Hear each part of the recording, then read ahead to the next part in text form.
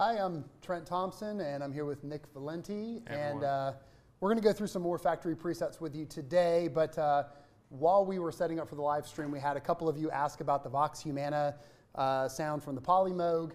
Um, so we did our best in like two minutes to approximate it. We're going to keep working on it, but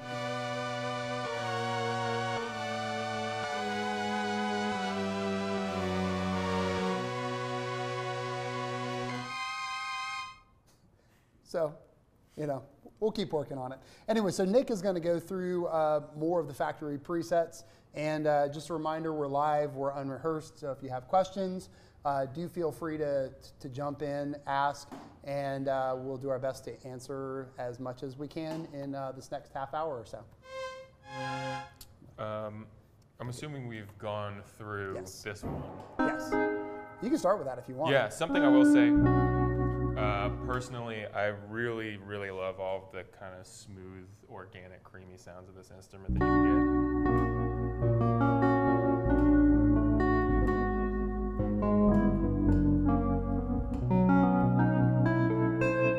get. Um, it's just really not maybe what you'd first expect out of a 48 oscillator polysynth, but it just it does that stuff so well. Um, so maybe we'll start going through some of the acoustic, acoustic-y sounds. Sure, we can do that.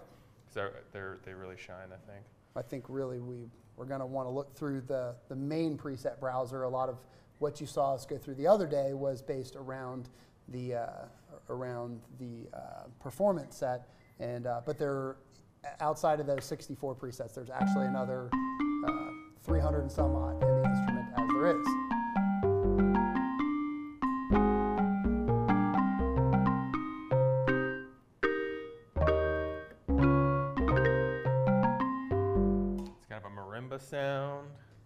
We got a question, is there a preset randomizer? Not at this time. Um, it's a lot of instrument to do that with, so uh, it can certainly result in some pretty cool stuff. So we'll definitely make a note about that.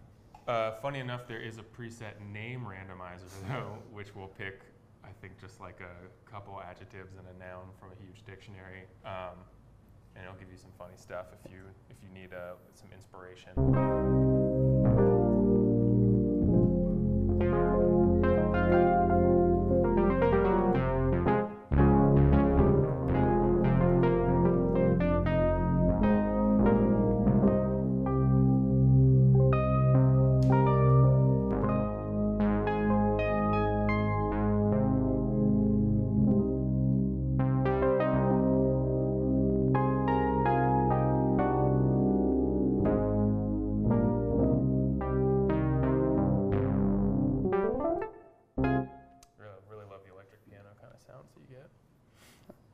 Let's keep going. Yeah.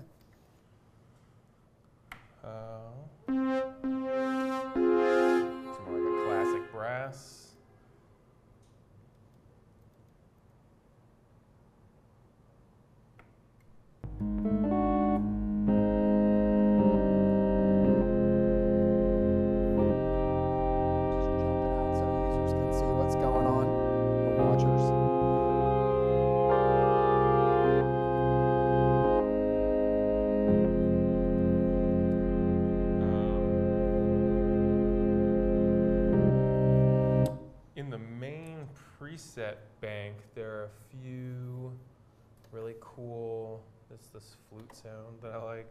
It's a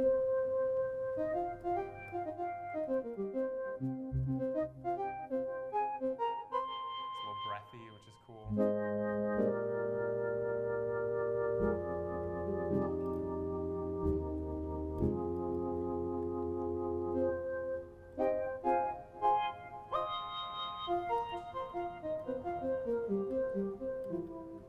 If any of you are hearing a bit of a squeak, that is our uh, poor sustain pedal that is under the table. Um, the other one has disappeared, so we're using a cheapie, but hey, it works. Uh, can you play between the preset used for the Between Worlds demo on SoundCloud? Hmm. I'm gonna have to. I'm gonna have to try to listen to that one and see which one that is. Uh, maybe in a future video. yeah, in a future video, I think. Oh, this is. You must have gone through this one, but this is a favorite. Yeah, the Sergio.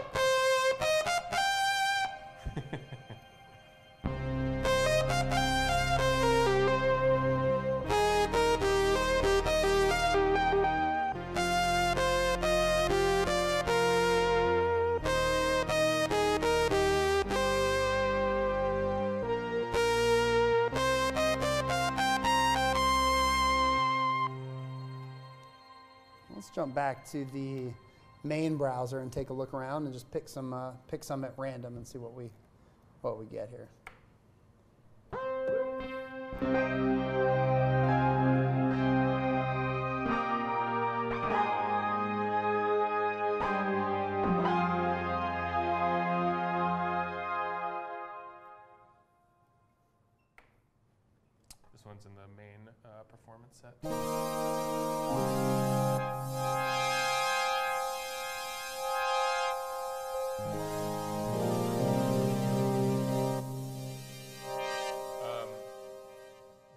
XY pad is a really great place to turn also for any of these presets. Almost every preset in here has it mapped and it can do some really cool, uh, diverse things. And that, that's also XY pressure, so you can actually assign the x-axis, the y-axis, and pressure of the pad to the same place, different places, or multiple places. Uh, we get a question, can Moog One step through a sequence using analog triggers like the SH101? Uh, at launch, it does not do that, but yes, it will do that, absolutely.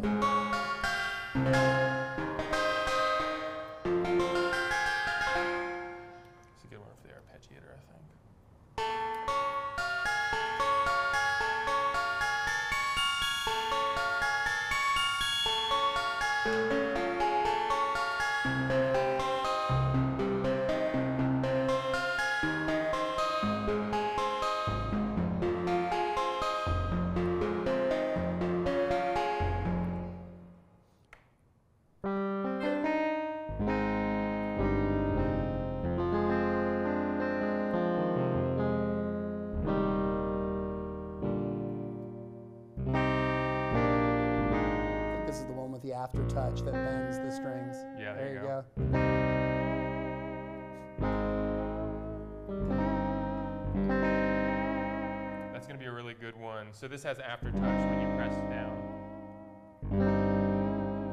I'll add that vibrato. Uh, we will soon implement MPE, and that's gonna be a really great patch for polyphonic aftertouch once we do.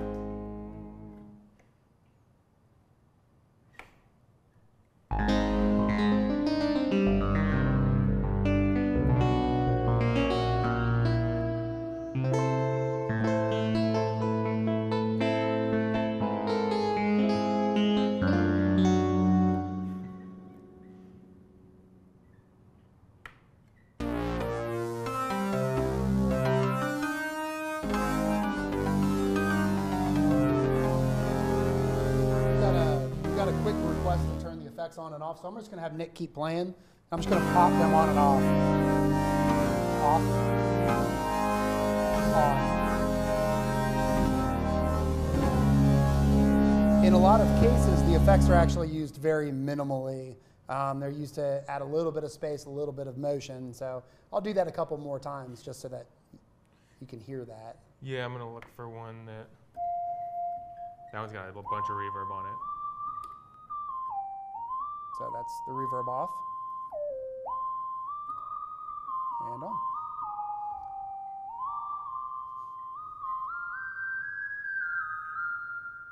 I love this one. The toms. Oh, yeah. Very specific use case, but.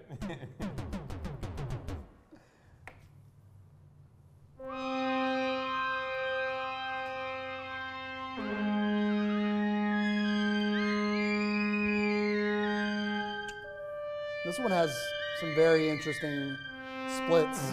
Um, it kind of shows how you could take a sound and break it up, a similar sound, and break it up between different layers and create subtle variations and a continuous sound.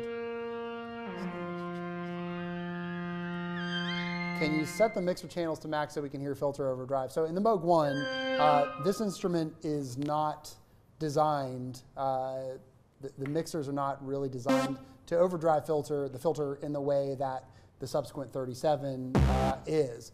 But um, this would be an example of a patch with all the mixer channels uh, dimed to Rail the on. ladder filter. The SVF has a little bit of a different texture with the overdrive.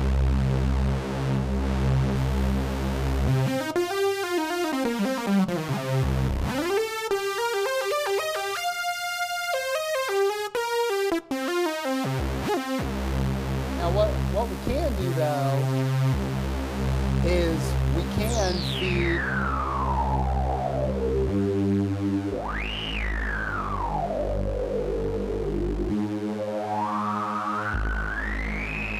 So what we can do is we can feed the state variable filter into the ladder filter, and that will create a lot more drive and squelch.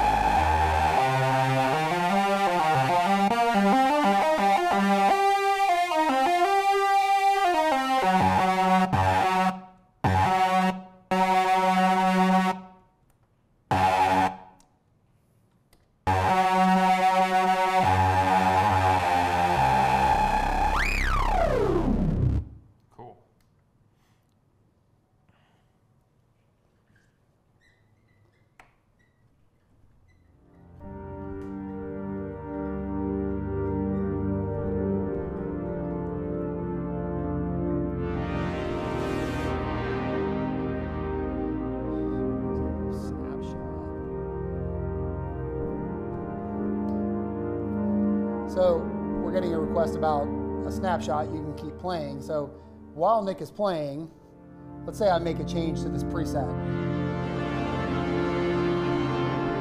Hmm. I'm gonna adjust the filter cutoff.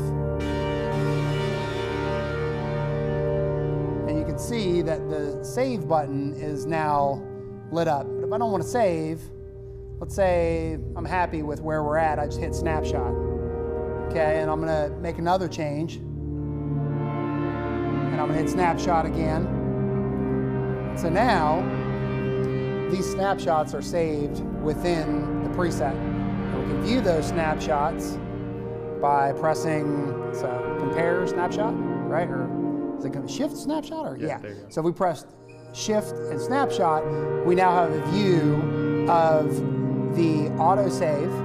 So the instrument will actually autosave certain changes in the background.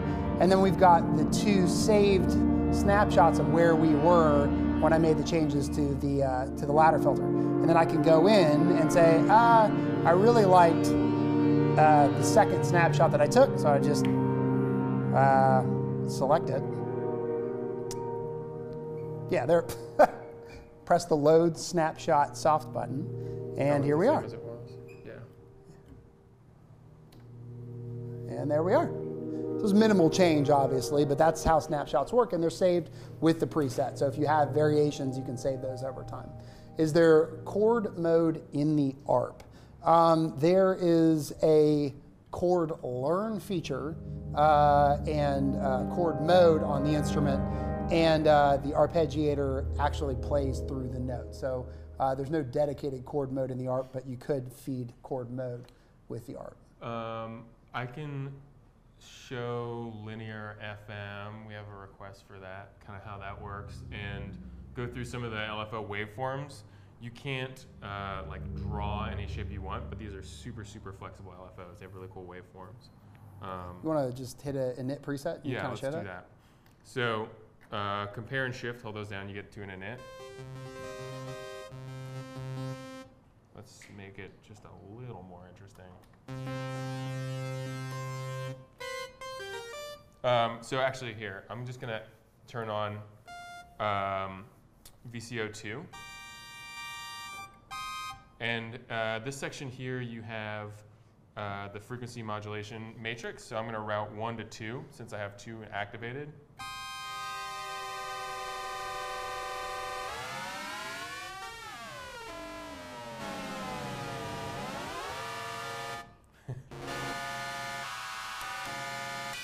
Here, I'll teamwork with you.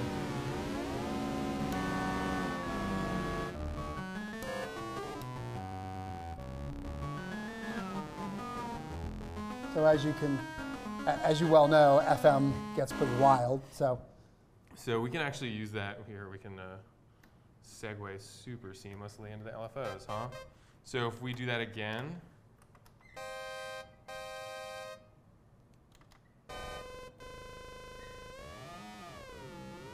assign an LFO to that. So I'll hit destination on LFO one, send it to the frequency, hit done. Should probably change that range.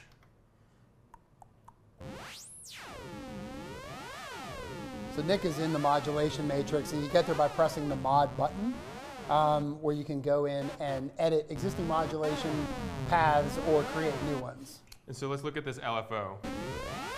You have four different, uh, these four different shapes here, you can really think of as four totally different cores. You have one core that's going to be the uh, triangle uh, sine core. So as I change the variation here, it'll show how you can move seamlessly between those two. The next one down is pulse, which will give you pulse width on the variation.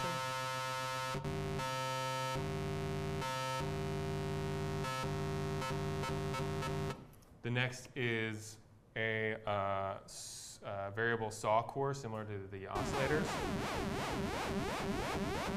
So you can get these lopsided,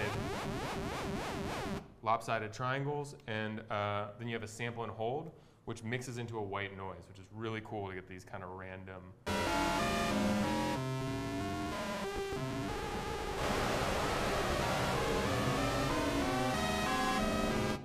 chaotic sounds. Um, that one does really well when you assign it to uh, the pan control, because then each voice is going to be a random panning within a defined region and it'll help you get some of those wide, lush sounds. So why don't you jump back to some more presets? And while Sure. you do that, I am going to just tackle a couple of these. Will Moog One owners be able to load additional Eventide algorithms, uh, a la the H9? Um, no, that, that's not a possibility uh, at this time. And uh, let's see, I'll let you play through some more sounds.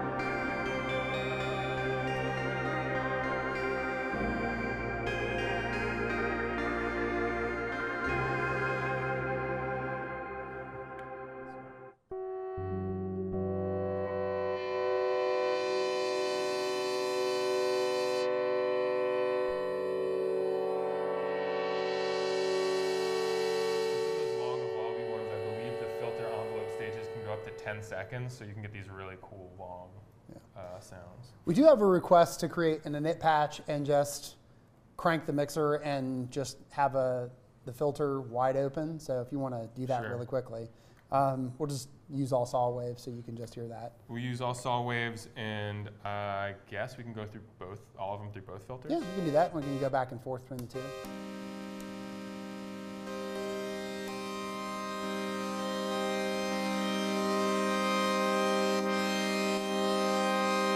You want to blend between the two, or so I'm going to go to the ladder, the ladder, the state variable. Now the state variable has two modes, um, and I'm going to just change the mode on that right now. It's in series. I'm going to put it in parallel in the more page. For that series, sorry.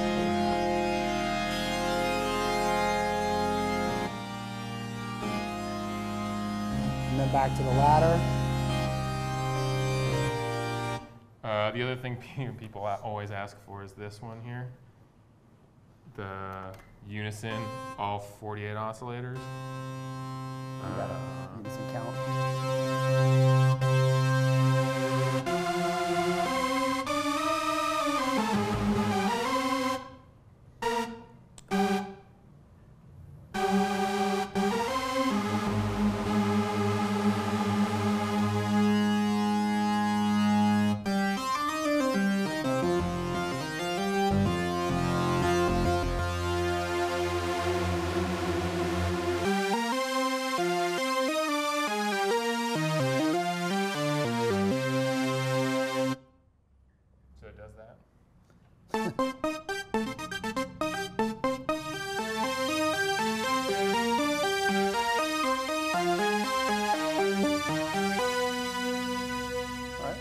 Back to some uh, back to some factory presets. And uh, is there a clock input to sync Moog 1 to the modular clock? So the assignable CV gate inputs on the back uh, in the very near future will be able to uh, accept clock, accept different control voltages, gate signals. So, uh, so the answer to your question is it will absolutely be able to do that.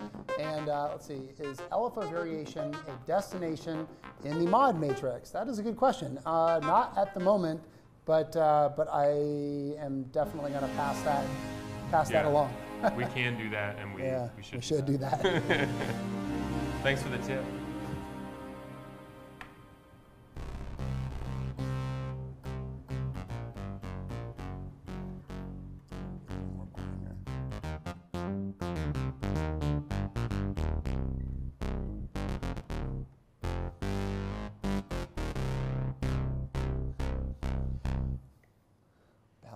Ballad guitar. Oh,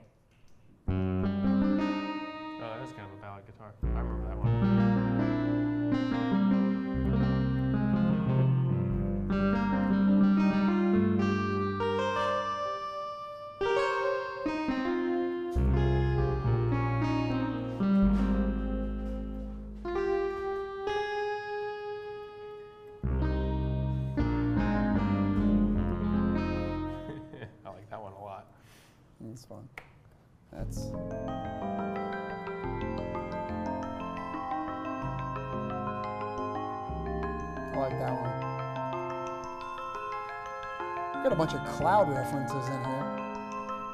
Yeah, we what do. happens in there?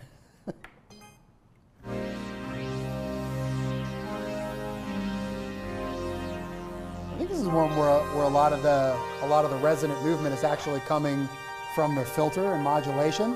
So I'm going to turn off the effects really quickly. So a lot of that kind of sweeping and kind of sparkliness is from the modulation of the state variable filter. I'll turn the effects back on. So we have some wave angle modulation too. Yeah, I think I, I think that there's an impression that there's actually a lot of effects to use, uh, effects to use on a lot of the presets, and in actuality, a lot of the motion and things that are occurring are coming, uh, specifically coming from wave modulation, filter modulation, and multitimbrality.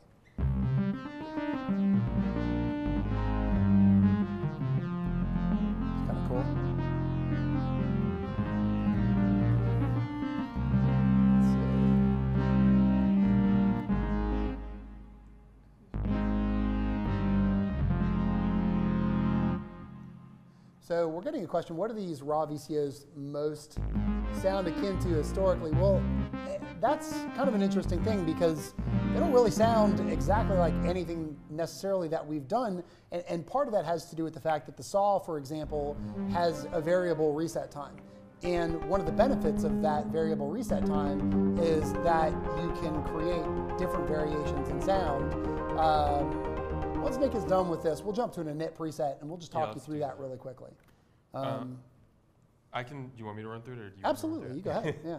So I'm going to push this little more button here so the screen just zooms in on what uh, this oscillator is doing. We're just hearing one oscillator, filter's wide open.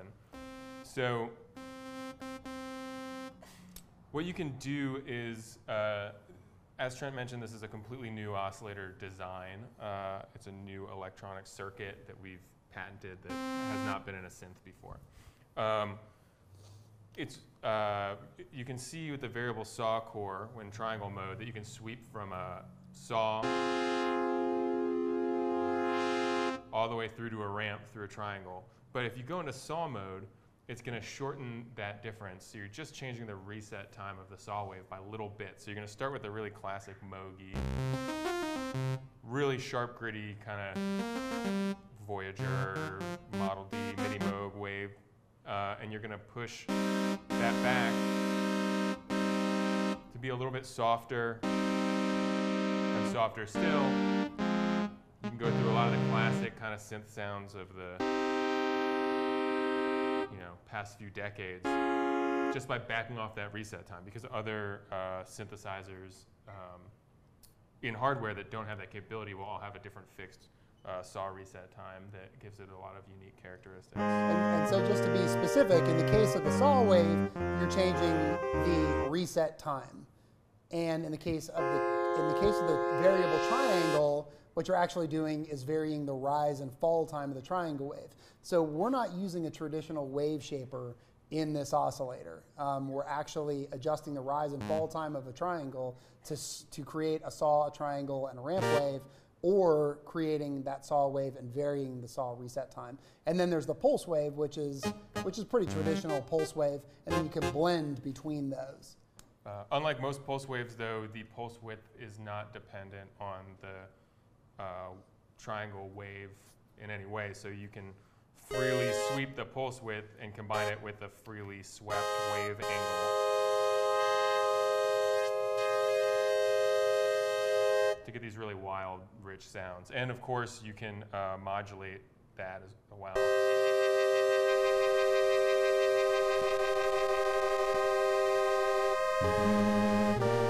So that's no effect and no filter modulation at all, and you're, you already get a lot of uh, dynamics of that sound.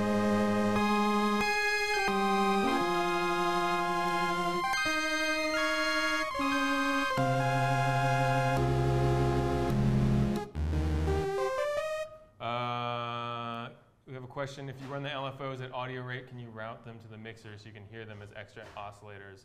You cannot route them to the mixer, but you can run them at audio rate and they will track so you can use them as FM sources. The other thing that you can theoretically do, or at least, so in the case of the subsequent 37 CV, you can route a LFO to the control voltage output, patch that out back to the audio input of that instrument. Um, so I'm going to guess that that would be the case in this uh, once that functionality is there.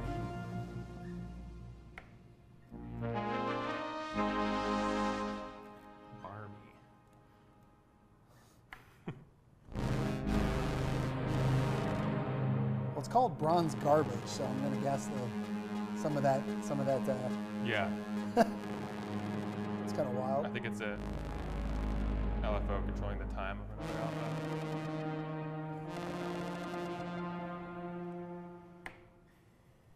It's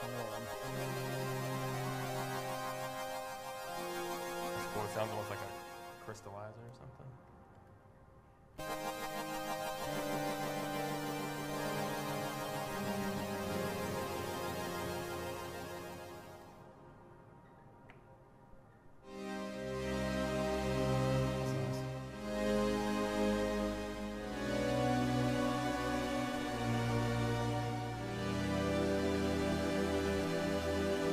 Does it djent? I guess if you've got the uh, you've got the the chops, sure. Can I use FM to control any destination, or is it hardwired to the oscillator? So uh, there's a couple of F- FM paths. Um, there's selectable frequency modulation paths in the oscillators. There's also selectable paths in the filters, but you cannot route, for example, the oscillator to the attack time of an envelope. What you could do is run one of the LFOs at audio rate and use that in that way. The FM to the filter sounds really cool too. Yeah. Uh, There's one in there called like Funky something or other that's got kind of an FME filter thing. So this one, Are you going to show FM? yeah. Okay. You got to remember to tell the folks what you're doing. Sorry, I'm showing I'm showing FM uh, to the filter here. So in the filter, I have it going to the state variable filter, and we can choose an FM source. So we're hearing oscillator one. Our source is three, which means, oops.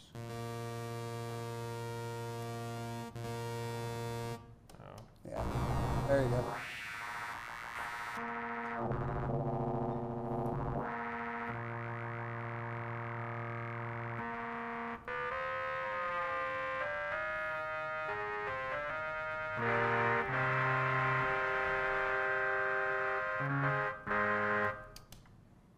that'll sound cool, right?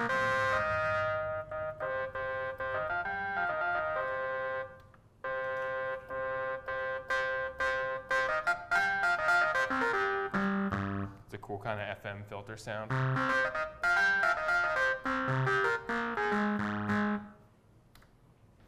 Yeah, let's listen to some more.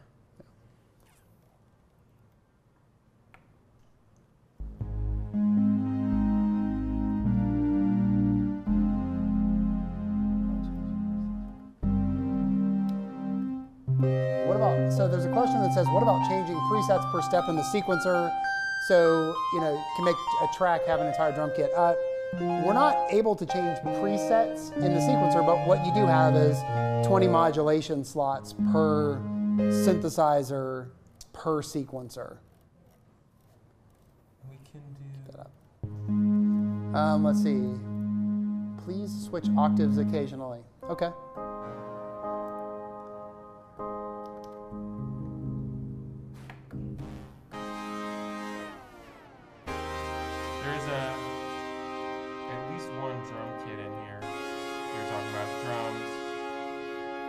Showed it the other day. Yeah, we did. Is that, uh,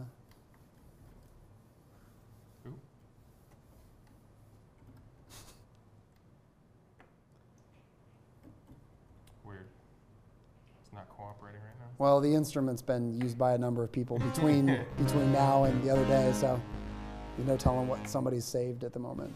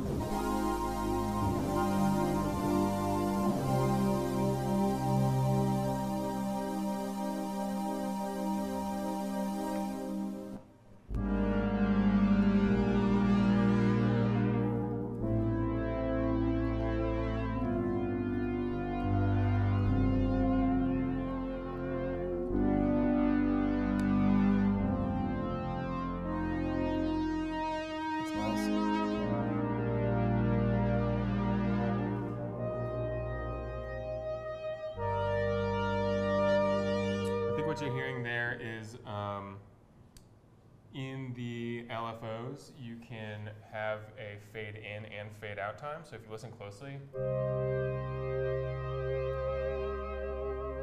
you get that trill that kind of comes in slowly over time, uh, and you don't have to burn an envelope to do that. So I'm going to open the more page for LFO1, and if you uh, if you look here on the screen, you can see that we got a 750 some odd millisecond delay time, and then a 2.8 second fade in time. So basically, um, got almost a second before the LFO starts to fade in and modulate the pitch of the sound. It's cool. Yeah, it's a great preset. Rain brass. Oh, Oh, yeah, cool. Another good one to listen without effects.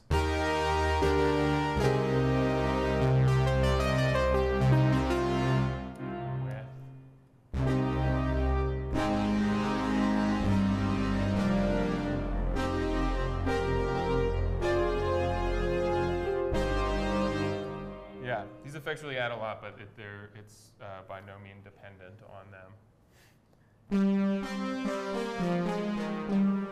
So let's go through a few more presets and we're going to answer a couple more questions and then, yeah. Let's see, can you copy paste per step modulation changes in the sequencer? Uh, no, you cannot at this point. Um, don't really have much more that I can say about that at the moment. Can you put different scales, does this say scales? You put different scales on each timbre split sequencer independently. So if, if this is, uh, let's see, different scale. So if we're talking about microtonality, um, then the answer to that is in the future, the instrument will support uh, microtonality, microtonal tuning. Um, if you're talking about, uh, well, I guess you'd be talking about microtonality in the future. Yeah, I mean, yeah, or if it's an arpeggiator, Yeah, you could do that as well. you could Yeah. do that as well, or do it with a sequencer. There's arpeggiator and sequencers per um, per multi-timbral synthesizer. Okay. So it sounds like we have about 10 more minutes left. If people want to ask some more questions, and then Yeah. we will be uh, obviously back to do this again and again.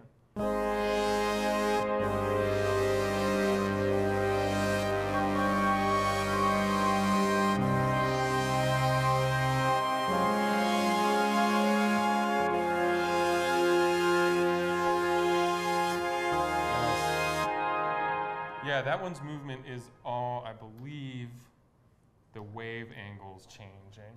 Yeah, so let's turn off the effect really quick and just kind of show what that sounds like without that, without that uh, eventide.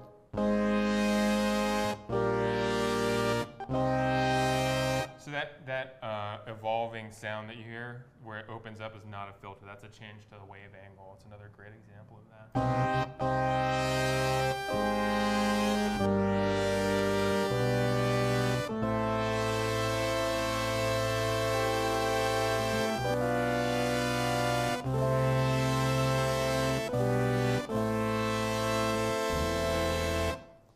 And the air that, that's kind of coming in there is, is using, making use of that, uh, that variable color noise generator. Really kind of adds a, adds a nice air to the sound.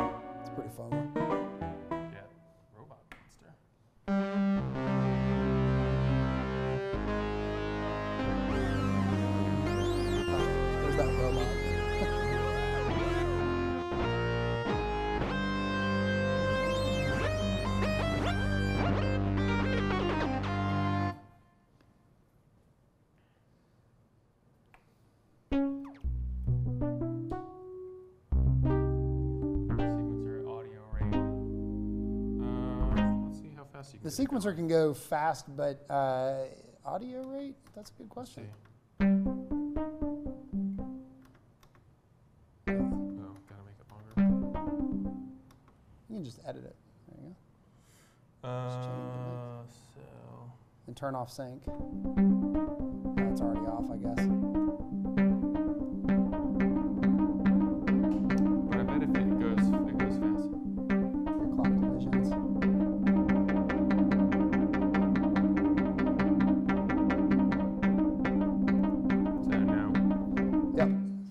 Question at the current juncture is no. Um, doesn't mean that won't be possible in the future, but at the moment, uh, sequencer does not run at audio rate. Can you play a self-resonating filter polyphonically? Yes, you can. The only thing to note is that the by nature, the ladder filter uh, is it's impossible to calibrate perfectly. So there's going to be variations per note.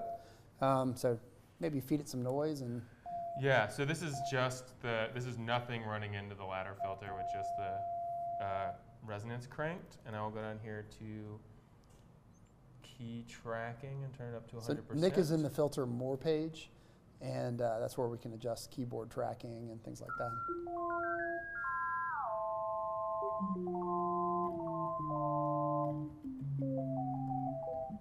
And if you add noise to the signal,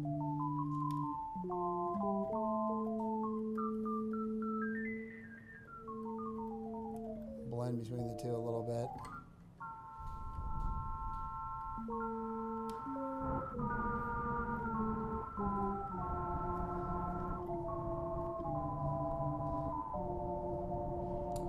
Can you modulate the speed of the sequencer?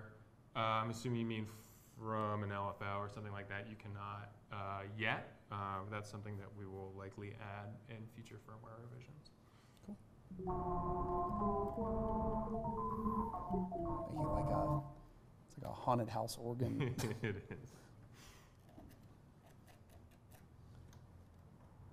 Oh, and one, one trick Nick just used, if you're scrolling through presets um, and you push shift, you're going to create larger jumps through groups of presets because the instrument can store a lot of presets.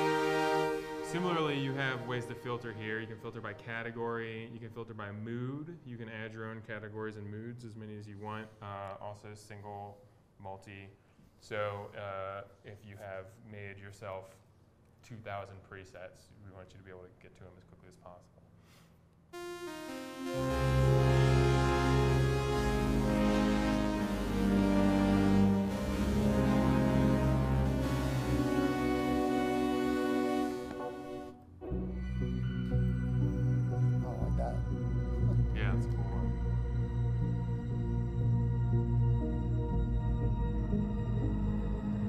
This is a monotimbral preset that's making use of uh, making use of the arpeggiator, but also creating uh, making use of those uh, eventide reverbs to create kind of extended tails that feel like a pad.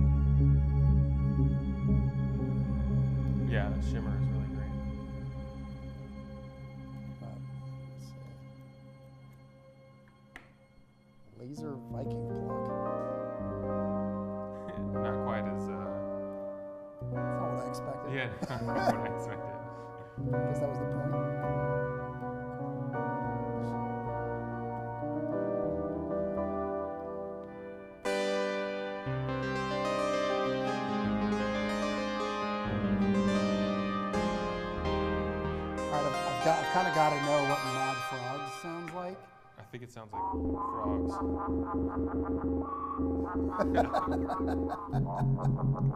Okay.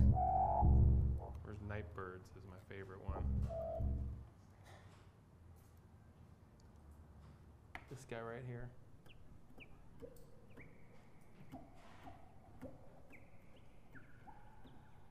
It's bird sounds and reverb.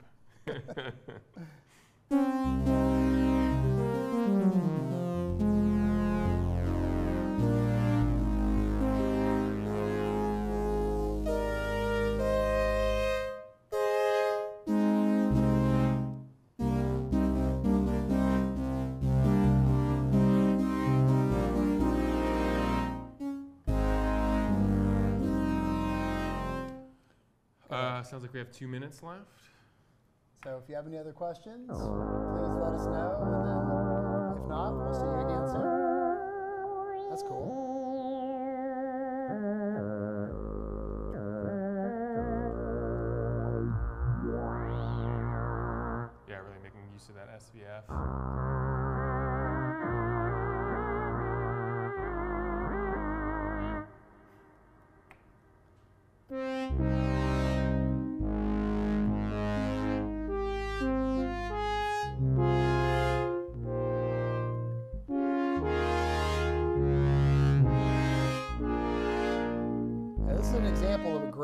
Dry brass sound. There's no effects on this sound.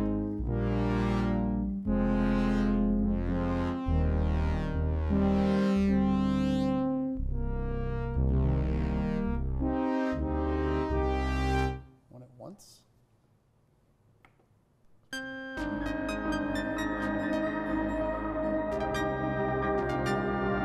So this is making real heavy use of a, of a bucket brigade delay effect.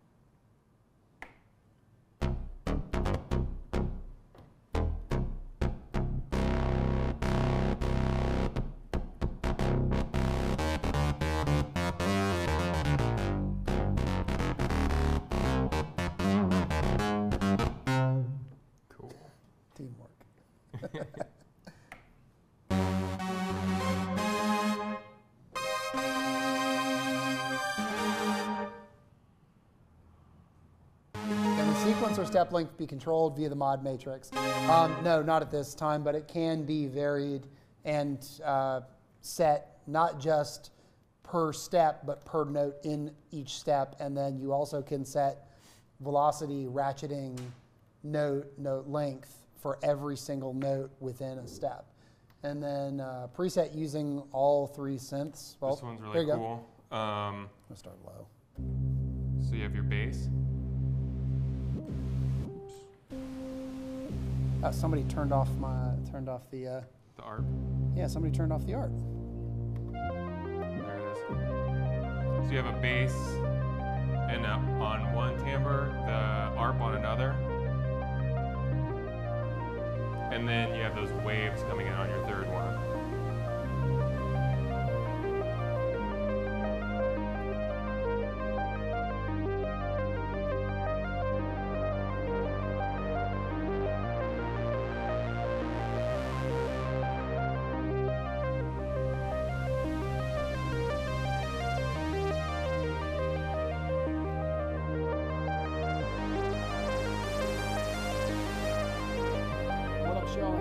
you can go between multiple synthesizer voices and modulate or manipulate uh, a single parameter or have it affect multiple synthesizers at once by selecting more than one uh, with the panel focus. So uh, synth 2 is that arpeggiation, well, I guess sequence. Synth 3 is the bass. But if I select both and turn the cutoff, I get both.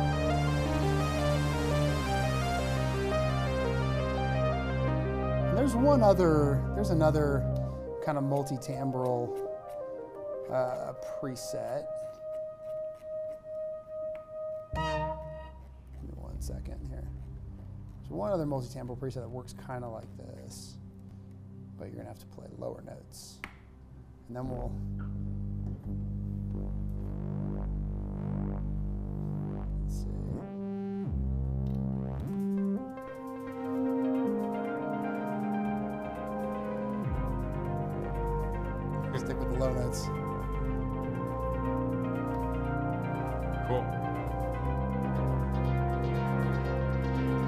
That's all. You keep on playing for a. That's all the time we got. So thanks for playing with us, and see you next time.